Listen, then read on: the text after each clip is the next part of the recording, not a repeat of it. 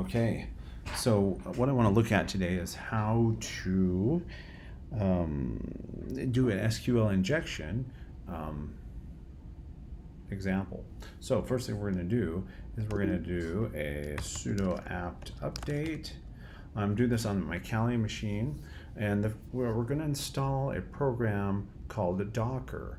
Now if you've never used Docker before, uh, the word buzzword nowadays is containers. A container is kind of like a VM, a virtual machine, but not really because it's a lot smaller, so much more minimal footprint, runs a lot faster, much more easily disposable and usable, um, and it will satisfy our purposes today. So apt install docker.io. Uh, so we're going to install Docker, which is going to provide container functionality for us to allow us to run a vulnerable web application that we can then do an SQL injection for.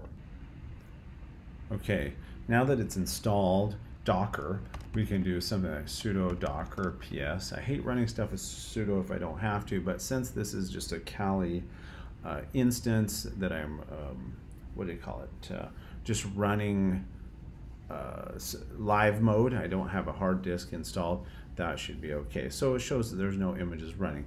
What we want to do is we want to install all of our, vulnerable web apps. So I'm going to do sudo docker run uh, it minus p 80 80 vulnerables web db dwa. What that does really quick is it tells the Docker daemon to run this instance. This is uh, lo located over on Docker Hub. DVWA, Damn Vulnerable Web App, has a bunch of vulnerabilities that we can use to test our SQL injections.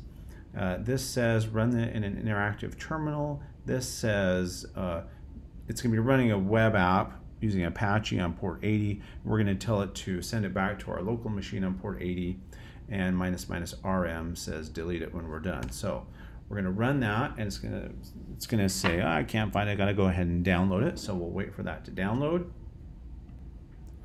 Okay, it looks like it's downloaded and it's running, and we should see something like that. Uh, and it's actually should load, load up a website. So I'm going to, I don't know, just load up Firefox and go to, if it'll load here. Let's see here, localhost 80. And there's our web app that is running inside our Docker container. The credentials for this are admin and password. This is a very insecure web app uh, just for demonstrating purposes of what we're doing today. And you could demonstrate a lot of other things like cross-site scripting and stuff. So let's see. The first um, thing I'm going to check out says, oops, click on the correct create database button below to get things all working. So I'm going to click on create reset database. Um, it should have said, oh, that kicked me out. So let's log back in admin. Thanks. Okay, so there we are, and we can always go over to this menu uh, and set up and reset the database whenever we want, um, or destroy the container and rerun it again because it's not going to persist anyways. There's a lot of different web vulnerabilities we can test over there on the left-hand side. Uh, if we look at SQL injection, um, SQL injection is mainly used when we have a web form and they don't validate our input correctly.